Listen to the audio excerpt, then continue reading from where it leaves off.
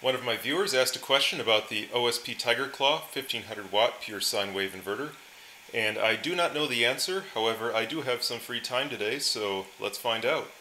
This video is for you, Xboxer 1985. Now the first thing I need to do to test this is to connect it up to my batteries. What I have here are two Group 27 deep cycle batteries, uh, probably better than what you would have in your vehicle for running an inverter, given that there's two in parallel.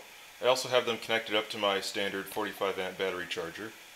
And one thing I'm going to note this time is when I first connect these, uh, if I just take this cable which is hooked up to the inverter and touch this post, there's likely going to be a large spark. It'll vaporize a small amount of lead from the battery post.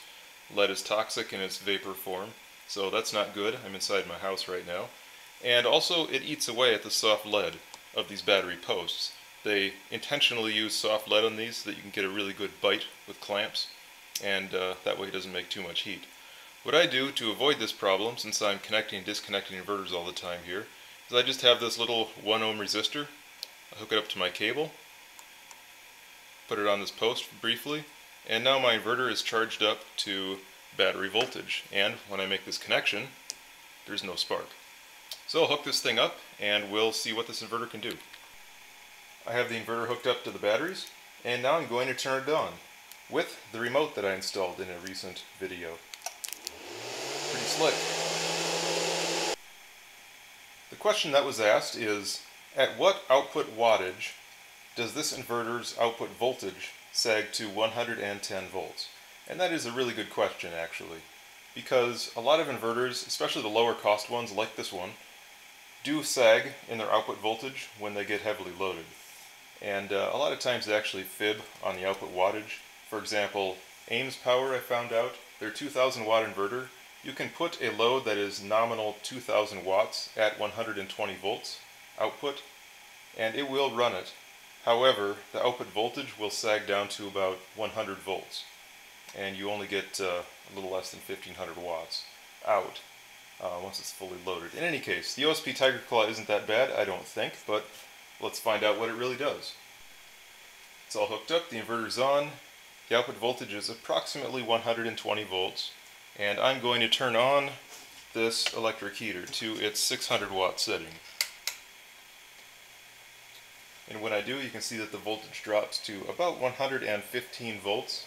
However, this isn't completely fair because I do get some voltage drop in the output cabling, the cable going to the power strip the power strip outlet. The kilowatt meter has resistance. This has resistance.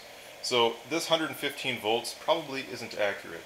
So I need a separate meter to uh, properly measure the voltage. And there we go. Two multimeters. This one is plugged directly into the out, the second outlet on the inverter, and this is that same kilowatt meter. So now I'm going to turn the heater on low. And actually there was very little loss in the cabling. But uh, I'm still going to continue using this one because it is more accurate since they don't have that cabling loss. I'll switch this to watts. And now I'm going to slowly turn on these 100 watt light bulbs and we'll see what the output voltage does at various wattages.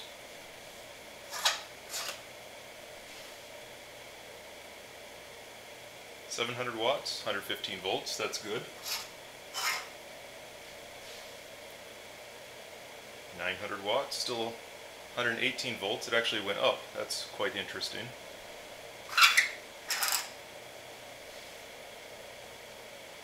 Eleven hundred watts. We're still looking good on voltage. And 1200 watts.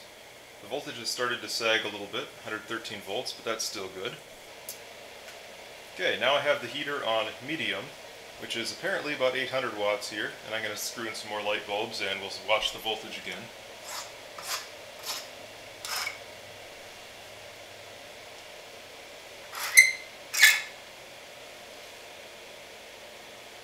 Twelve hundred, the voltage is sagging.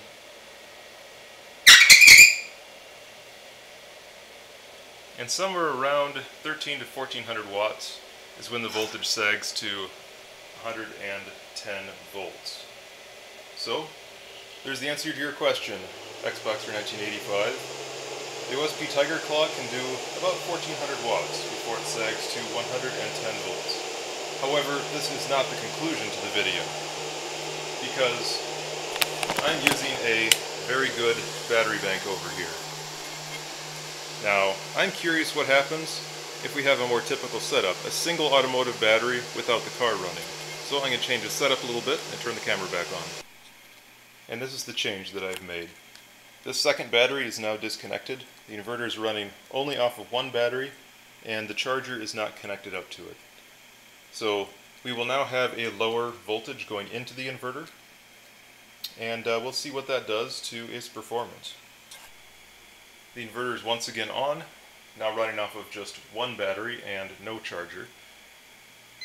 Switch this to watts and we'll try the same test again to see if there's a difference and what that difference is heater on low. The output voltage still looks quite good. Turn it on medium. Again, just like before, it's doing quite well.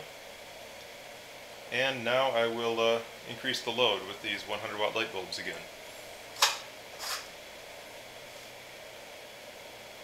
900 watts, it sags a little bit. 1000 watts. Now it's down to 110 volts.